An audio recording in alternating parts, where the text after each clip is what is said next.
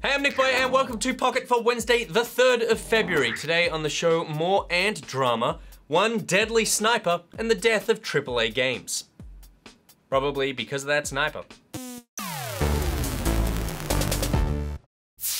Alright, here's what's been making headlines, and first up, the Ant saga continues.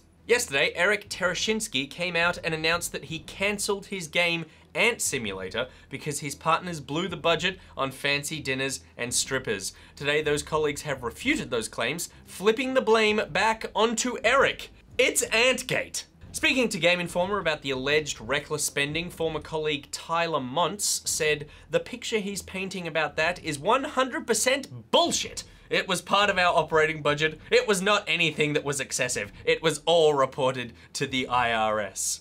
Those strippers were budgeted for and paid for with legitimate company money, damn it. Montz went on to blame the game's financial failure on a missed opportunity with Sony because Tereshinski could not deliver a playable demo of the game. It's an ugly situation, like a colony without a queen.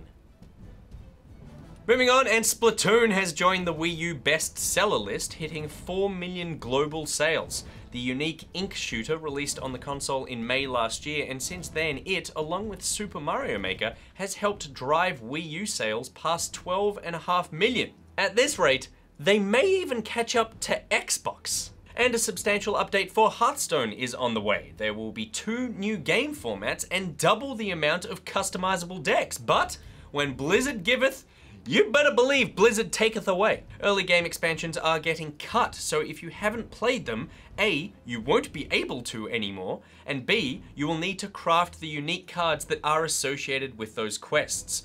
Kinda sucks for new players who miss out on those unique challenges and a slew of games were announced overnight. World War II shooter Battalion 1944, which is seeking crowdfunding, it will buck the modern trend by ditching exosuit and grinding unlocks in favor of classic shooter sensibilities.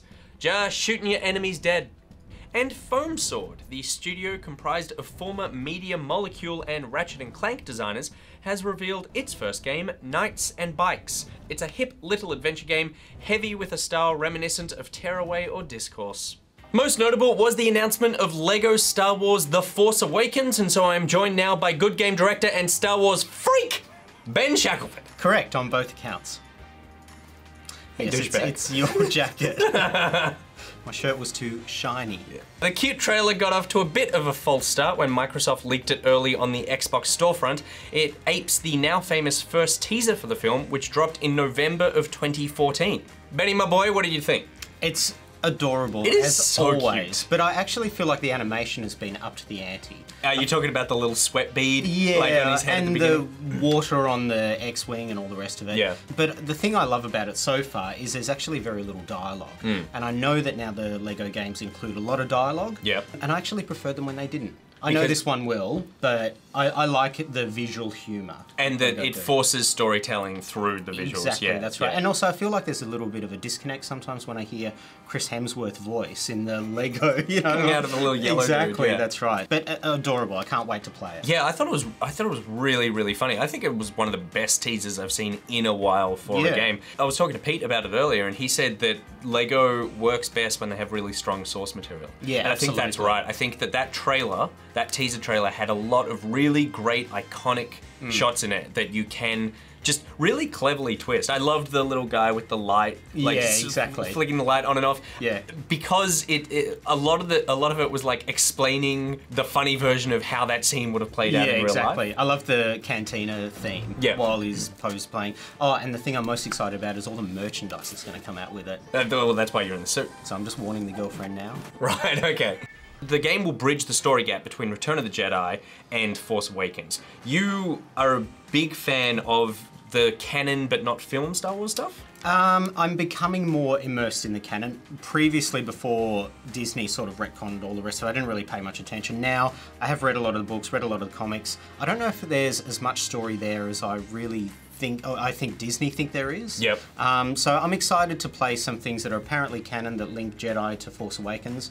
But really, it's about, like you said, playing those iconic moments from The Force Awakens with a Lego layer on top of it. That's what I'm really looking forward to. Do you have any idea what that that story linking stuff is? Uh, I think we've got some hints from it, particularly more from the Marvel comics. Just because the Marvel comics are doing so many different things in terms of uh, going from Jedi to Force Awakens with individual characters and all the rest of it. Um, there's some good storylines, there's some not so good storylines. We've obviously got theories, I think everybody does, but I actually think the scene, Rey's dream sequence, has more substance in it Is that when she, before she finds the lightsaber? when she finds the lightsaber, when she touches Right, it, okay, yeah. that's got more substance that I think gives clues as to what happened in that 30 year gap Hmm. than any of the books or comics do so far. Did you write this game? Because that was such a cagey answer where you said a lot, but you never actually answered the question, which was just like, this is gonna be about blank going to blank. I'm a true TV producer. That's very true. All right, moving on now. Two thing of the day. Thing of the day. In Call of Duty Black Ops 3, Brad Williams pulled off a feat of athleticism that would put the acrobats of the Moscow State Circus to shame.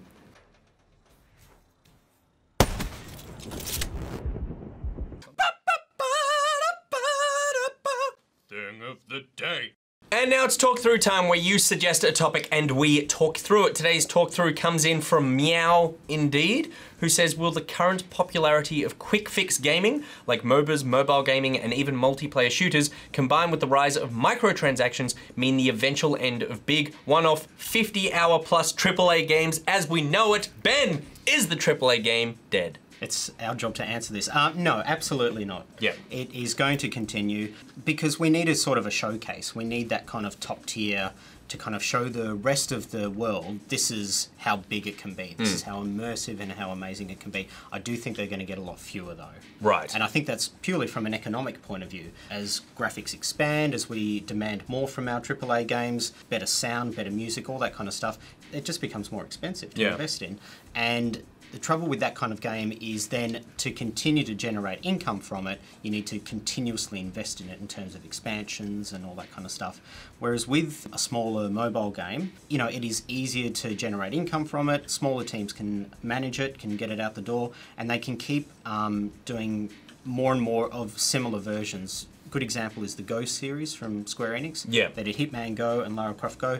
Both really great games. Played Fantastic them both. games. Yeah, loved them. But there's a model there that is not too hard to replicate. I'm, And you can, it's, it's almost like the Lego games where you can just yeah. plug different franchises into that thing. exactly, that's right. So I- yeah. I, think it's that middle band that we've really got to be worried about. Yeah, so things that aren't like The Witcher or Fallout. I mean, games like something that comes out this week, XCOM 2, Yeah, is something exactly. that it's for a really niche market that Mm. might be the one that doesn't necessarily survive in the way that it currently does now. Yeah, that's right. So they're going to have to push harder to bring in a broader audience Mm. to get a return on their investment. And then is there a danger in trying to bring in that broader audience? Because XCOM fans have a very specific idea of what XCOM is. Yeah. And as soon as you start to bring in gamers like myself who aren't really familiar with it, then it's like, well, are you turning away from your core audience? So that's the group I'm most worried about. Yeah, I mean that's a really interesting thought. I, I, I agree that they're they're not going anywhere. Like you said, they they cater to different markets, and and I think that it, it you have mobile gaming, you have MOBAs, you have quick fix gaming, like uh, Meow indeed has sort of said.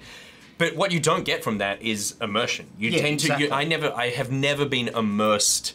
Like really in a mobile game or like a MOBA, I get deep in the strategy, but I don't lose myself in that world. So something like The Witcher is a game where you go, oh, I want the experience of being this character in this world and, and finding my way through it. And I think that that's a valuable experience. As long as people keep buying those games, then those games are going to be continue to be made. And and I think that as more people get into games, I don't think it necessarily means that games are going to be diluted. I think you're just going to get more of everything. It's interesting in art form, not just games, but in um, film and television as well. When you get one reaction, you get an equal opposite reaction. Exactly, well. yeah. So the more transformers you get, the more whiplashes you get. Yeah, I guess the problem here is that AAA games, as sort of like a definition, require a huge amount of money and time. So I think, yeah, maybe it'll become more focused, and maybe that's not necessarily a terrible thing. And I think it also speaks to the averaging out of the gamer as well, in terms of we know that the average gamer is 35. Hmm.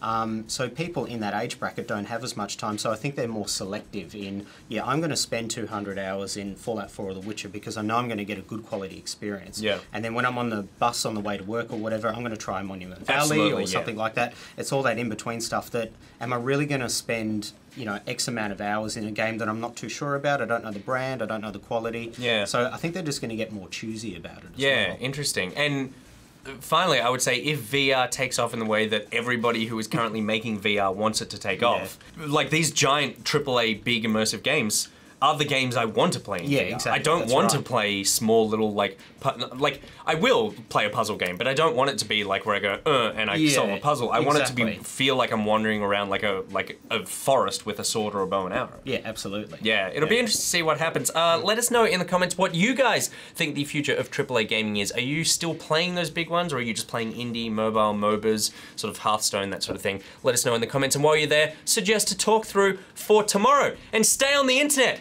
because that's where Good Game is on Facebook, YouTube, and iView. Want to meet fellow Pocketeers? Then join the Pocketeers Facebook group and Steam group. You can follow Good Game on Twitter at Good Game TV. Follow Pocket at NichBoy, at Pierreth, and at GG Edit Monkey. He's at Shackas, and there are links to everything I just said in the description below. Today's Thing of the Day graphic was made by Lachlan Orton. Thank you very much, Lachlan. But our Thing of the Day backlog is dwindling. So if you have made one, send it in via YouTube or a file sharing service of your choice. Until tomorrow, NichBoy out. Do you want this jacket back? I do.